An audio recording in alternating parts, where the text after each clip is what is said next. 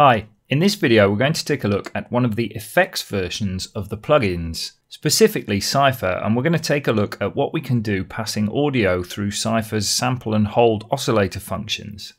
I've got a project here in live with a simple drum loop on an audio channel.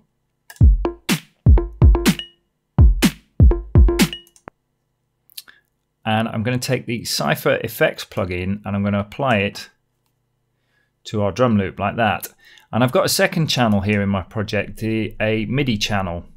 This is taking MIDI from my keyboard controller and I'm going to set it up so it passes it through to the Cypher Effects plugin.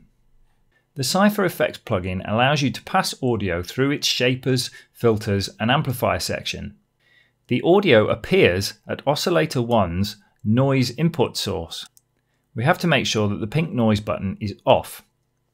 Now, if I play my loop in live, you won't hear anything. And this is because, just like in the normal synth version, I have to play a key in order to hear anything. So if I play a key on my keyboard,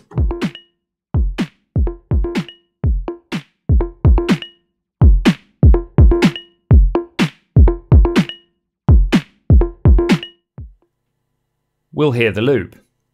Now in order to make this easier so I don't have to keep a finger on the key, I'm going to enable the hold button and the loop will keep playing. Right, so let's take a look at what's happening.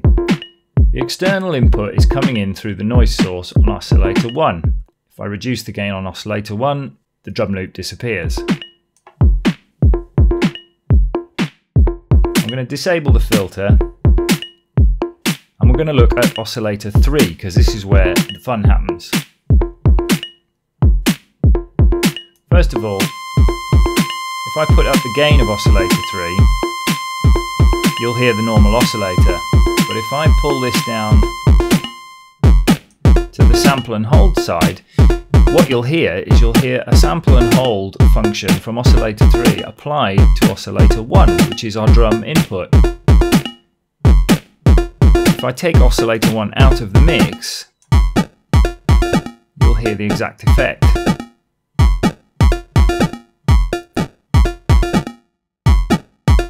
We can change the pitch of the oscillator as normal using the scale knob.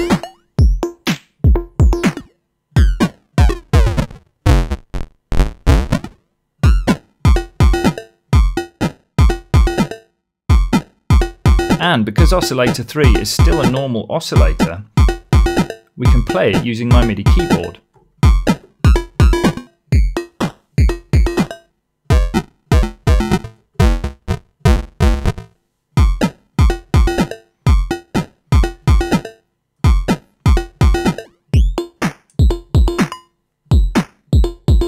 And of course we can apply all the usual modulation functions. Let's apply some of LFO2 pitch.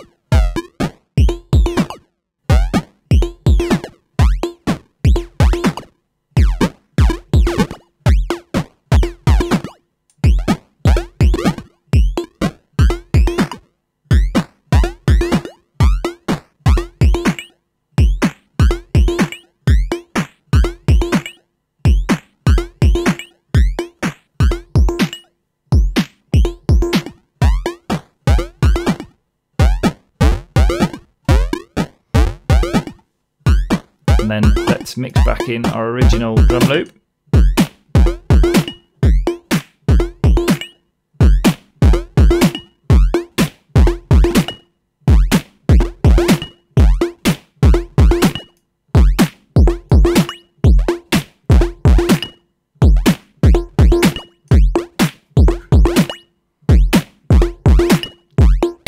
And that's how you use Cypher's sample and hold functions on external audio.